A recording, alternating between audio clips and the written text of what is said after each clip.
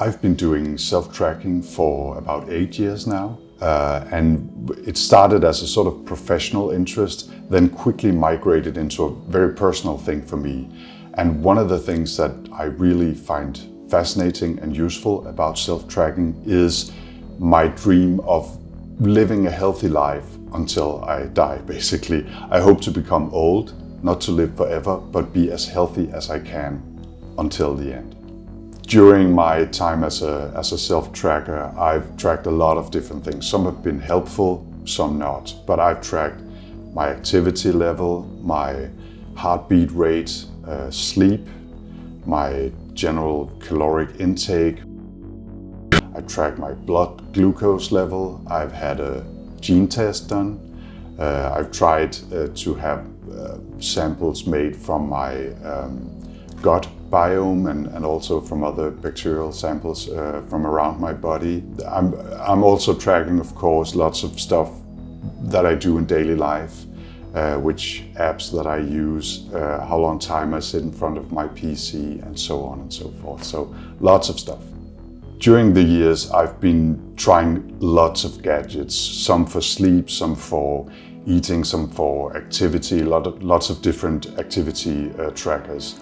Today I'm using basically two or three things. Uh, my iPhone is central to all that I do. It has a lot of different apps that I use, uh, but also my Apple Watch is uh, my activity tracker of choice.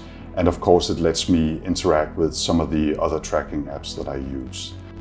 Other than that, my trusty friend uh, from eight years of, of self-tracking has been my Withings uh, Wi-Fi scales uh, that I jump on every morning uh, to get my weight, my fat percentage, and, and now also in the new version, my, my heartbeat rate, uh, and it tracks a few other things as well, the CO2 level in the bedroom and, and, and so on.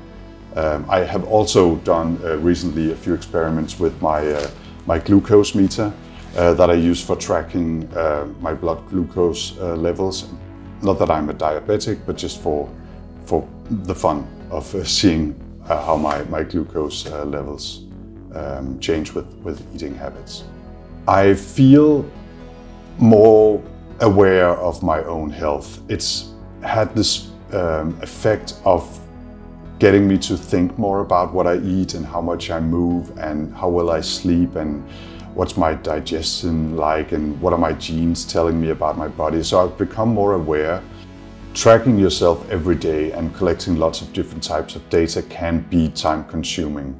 And I don't think I'm going to be tracking 10 or 15 different types of data for the rest of my life unless I can automate it. And luckily you can for, for a lot uh, of, of, types of data. But um, I think tracking the basics like my activity level, my weight, uh, possibly stuff around eating, uh, is something that I'm going to do for my, the rest of my life, I think.